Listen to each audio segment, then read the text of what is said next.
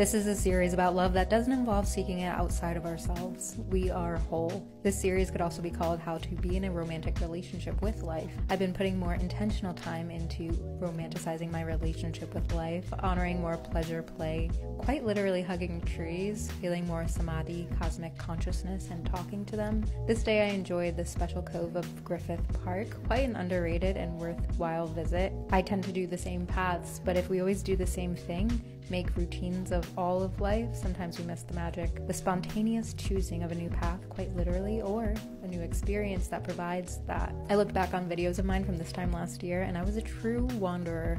It was painful wandering Europe, Mexico, the world without the feeling of higher love, without a partner's reassurance, but being without helps us appreciate both.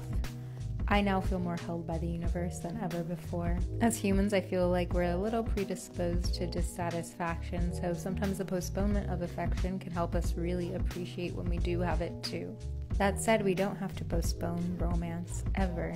We can always make a romance of our lives itself anytime.